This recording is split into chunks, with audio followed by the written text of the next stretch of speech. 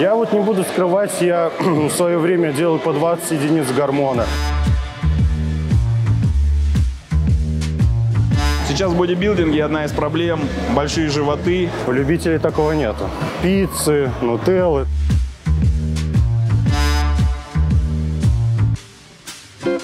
Лучший результат был 220 на раз. 100 килограмм надо было пожать на 100 раз. Да? Я думаю, что в три бы уложился. Наверное, поэтому и нет ног, есть большие сиськи. Русские приезжают, наверное, там полотенце, что-то все забирают себе. 300 долларов штраф.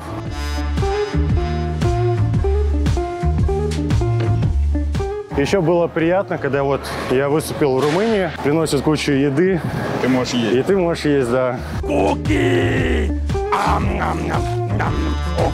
Просто я видел, сколько едят тяжи, это просто сумасшествие. Они едят больше килограмма углеводов. Люди там коробками выносили пиццу. Я думал, что только русские могут так делать. Оказывается, нет, европейцы то же самое.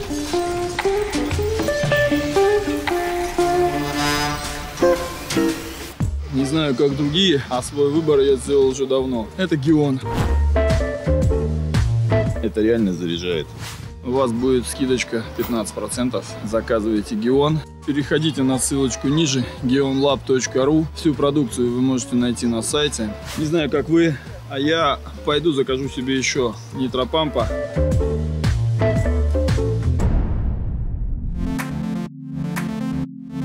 Дмитрий, привет. Дмитрий, ты недавно стал у нас про э, NPC, Да, Classic Физик. Верно все. Кстати, тебя, может, кто не знает, расскажи о себе. Ты стал очень популярен. Как ты попал вообще в бодибилдинг? Ну и вообще.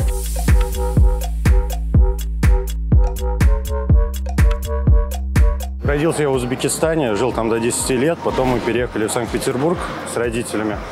Вот, э, в принципе, в 8 лет я увидел фильм, наверное, как все со Шварценеггером. И вот Какой фильм? А, Командос, и меня именно, я помню эту сцену, где он несет бревно. Да, да, да.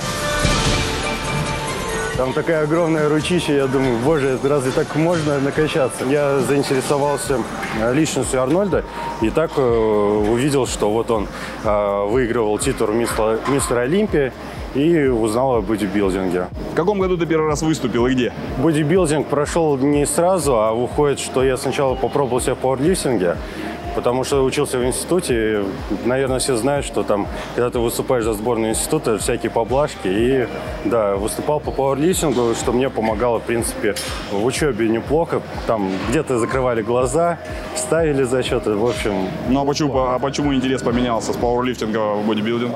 Потому что я всегда хотел заниматься бодибилдингом и понял, что пауэр- пауэрлифтинг как бы там не очень большое развитие.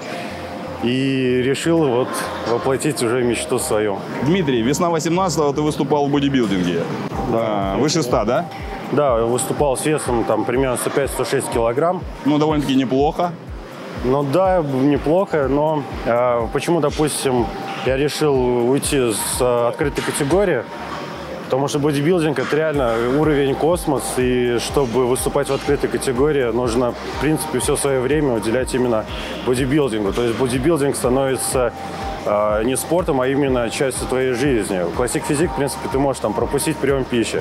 В тяжах это нельзя сделать. Ты известен у нас и популярен своей узкой талией. Она на самом деле не такая уж и узкая, если честно, да. Потому что, ну, я замерял ее. Вот самая маленькая она была 78 сантиметров. Ну, это, это нормально. Просто мы, допустим, вот я ездил в Шанхай, а Стив Лоренс, у него тоже безумно узкая талия.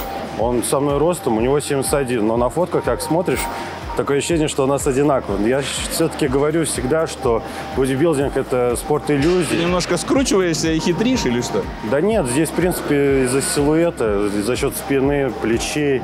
Вот. То есть, по сути, как бы, если у тебя широкие плечи, если они еще шире будут, то да, и уж талия будет шире, но при этом сам образ будет как бы показывать, что узкая талия. Что сегодня делаешь?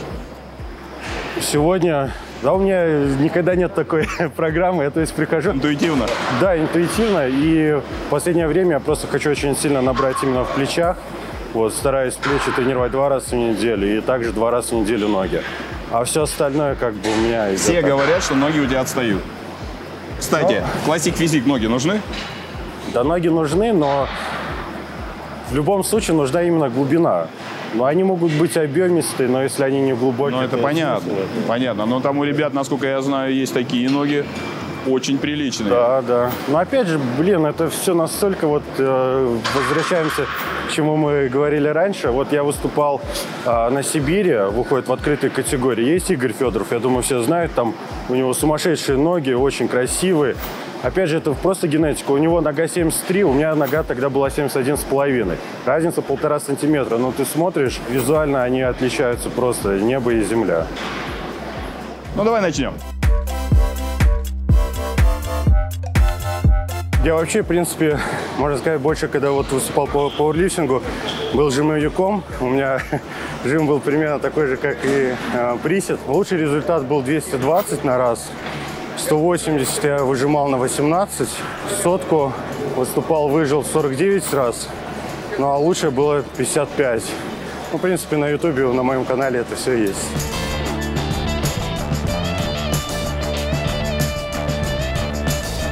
Пять недель отдыхал, только с 8 января сразу на диету. Но у меня в планах сейчас выступить 16 марта по русскому жиму. Хочу сотку, но больше 60 раз в этот раз точно пожать.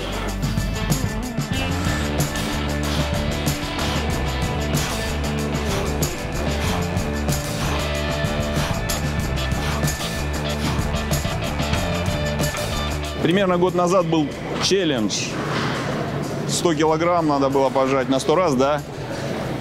Сколько бы тебе понадобилось подходов, как ты считаешь? Ну, я думаю, что в три бы уложился бы. В три подхода. Неплохо. В идеале, конечно, 100, сразу на 100 пожать, вот с одним подходом. Жим лежа, наверное, у тебя любимое упражнение. Да, Потому что грудь у тебя хороша. Да, да, да. Я когда пришел в зал, а, я лег, и мне было тогда 13 лет, я 50 на 10 раз сразу пожал. Вот. И в 14 лет, ну, там, через 3 месяца мне 14 исполнилось, я выжил уже 100 килограмм при весе 65. Вот. И, в принципе, у меня как было? Я приходил и через день всегда жал. То есть жим лежа – это самое-самое любимое упражнение было.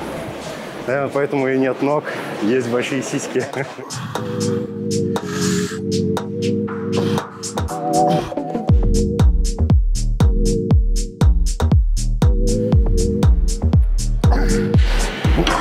Еще Не надо, не надо, уже, уже в отказ было бы. Ты ушел с ИФББ в NPC.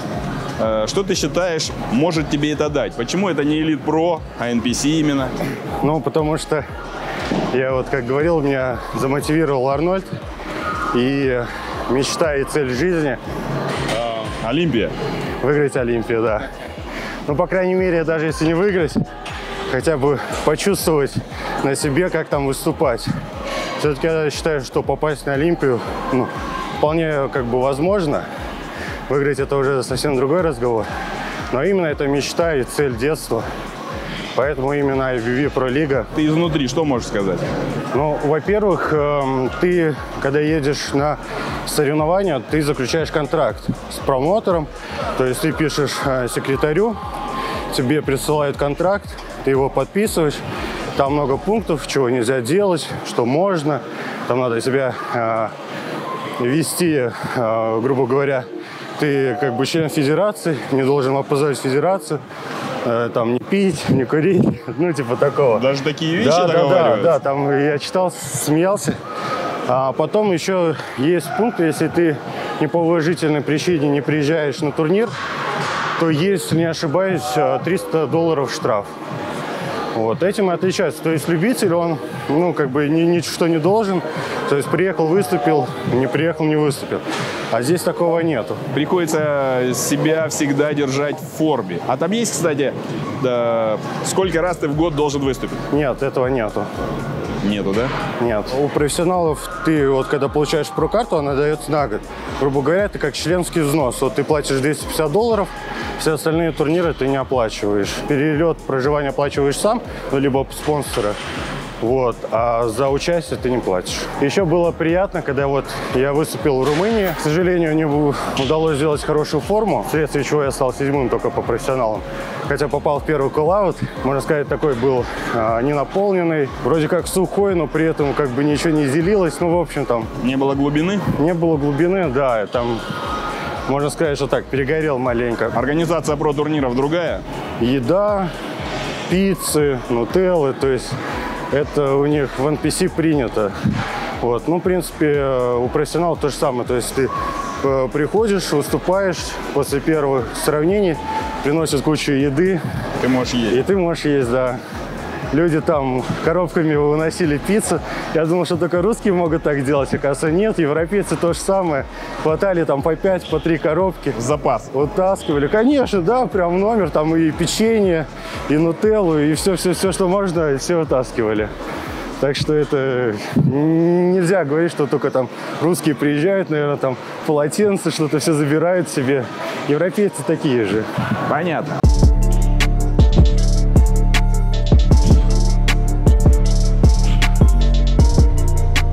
Важно ли сейчас, чтобы быть успешным спортсменом, известным быть в Инстаграме или где-то в соцсетях, чтобы получать контракты, или это совсем не важно? Это абсолютно важно. То есть сейчас э, не важно, что ты чемпион, не важно, что ты профессионал. Сейчас именно спонсорам интересна твоя аудитория. То есть мне вот э, после выступления про уже начали поступать, меня выложили в группе Muscle Development. И как раз вот только они выложили, и, наверное, часа через два уже как бы начали писать... э, Предложения? Да, предложения, именно американские фирмы спортивного питания. В итоге у меня сейчас американский э, спонсор. И все спонсоры, когда вот ты с ними общаешься, они все практически просят статистику Инстаграма, чтобы Сколько у тебя, посмотреть. кстати, в Инстаграме подписчиков? Э, 80 с чем-то тысяч. Вот. эм, Это считается нормально для них? Ну, можно же их накрутить, поэтому они просят статистику. Вот, а по статистике они смотрят, и у меня статистика, как, ну, мне потом пишут, что лучше там, чем у людей за 200 тысяч подписчиков. Кстати, у тебя много американских подписчиков стало? Ну Или вот. только российских? Как раз, когда они у меня просят статистику, я им присылаю, у меня Россия на третьем месте, Америка на первом.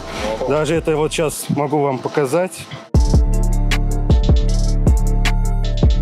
Это связано с чем? В Америке более развит фитнес? А, ну, Почему там больше Я могу интересуются? сказать, э, что а, просто меня, скорее всего, больше вот именно на YouTube-каналах американских. а, Там есть такие же блогеры, как, допустим, там а, Алексей Мокшин. И меня очень много а, таких блогеров именно американских выкладывали, за счет чего у меня сейчас американская аудитория и в принципе, европейская больше.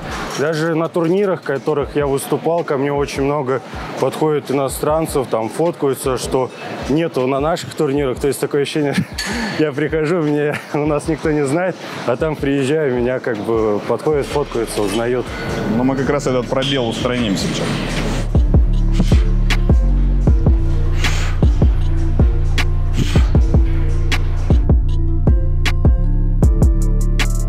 Какой у тебя ближайший турнир? Готовится? Да, у меня выходит сейчас до турнира осталось 13 недель. 11 мая в Индии, в Дели будет проходить турнир. А, К сожалению, сейчас то, что я смотрел в календаре, а, многие турниры, которые проходили в прошлом году в Европе, в этом году их не будет. В Европе всего будет три турнира по классик физик, поэтому вот Индия и надеюсь, что следующий старт будет в августе в Бразилии. Ну, у тебя очень хороший пресс, талия. Что ты делаешь для этого? Вакуум, может, что еще? Я, в общем, как-то в шестнадцатом году а, наткнулся и прям, э, можно сказать так, воодушевился позированием Фрэнка Зейна. И как раз он, в принципе, все позы ставил с вакуумом. И как раз с 16 года я начал практиковать именно вакуум. Вот. Я его делаю всегда утром натощак. Вот. Уделяю буквально там 10 минут. Грубо говоря, там вдохнул, выдохнул, втянул живот, держу сколько могу. Отдышался, только восстановил дыхание опять повторяю. На это там 8-10 минут утром трачу. Но, допустим, когда уже ближе к соревнованиям, а, порция еды маленькая, там еду в метро, либо в автобусе, делать нечего, тоже то, пока еду, делаю его. Сейчас в бодибилдинге одна из проблем – большие животы. Э, В классик физик этой проблемы нету или тоже встречаются? Ну, начнем с того, что почему я вот э, еще один момент, почему ушел я в классик физик, я не могу столько есть. Большие животы это не проблема гормона роста, не проблема инсулина, это именно много еды. А, просто я видел, сколько едят тяжи, это просто сумасшествие. Они едят больше килограмма углеводов, потому что это больше килограмма в основном сложных еще доедают быстрые. И люди должны понимать, что такое количество еды, оно просто, ну, Даже если ты там обколешься, оно ну, практически не усваивается, это все, в принципе, остается у тебя в кишечнике. Вот. И, естественно, за счет этого у нас и начинает как бы расползаться живот. Не- невозможно, вот даже если вы посмотрите на Колмана, у него какая сильная талия была, когда он вот выиграл мир, вот, а потом вот, вот эти сверхобъемы, сверхмасса, без та- такого живота, ну, я думаю, что это этого нету? Да и парни столько не едят, чтобы такие животы были. Я вот не буду скрывать, я в свое время делал по 20 единиц гормона. И там с инсулином, как бы, но при этом... Не повлияло. как- Было 18 лет, я... Ой, 18 я не мерил, не буду врать. Вот э, первое соревнование, когда я выступал, у меня талия была 80 сантиметров. Вот в 2016 я мерил, а, как раз когда начал практиковать вакуум, была 78 талия. А на Сибири с весом 105, когда я выступал, было тоже ровно 80. Потом я как бы перестал мерить, понял, что у меня между 78 и 80 сантиметрами, в принципе, вот мои как бы параметры. И здесь дело только в еде. Когда я тоже начинал много есть, реально он просто э, желудок, даже учитывая, что я делал вакуум, все равно как бы надувался. Утром просыпаешься, все впалое, хорошо поел, все, ходишь с вот таким животом. Дим, пожелаем тебе удачи, продвижения в твоем деле. Будем следить за тобой. Побед тебе. Спасибо. Подписывайтесь на канал, вступайте в группу Бодимания. Всем пока.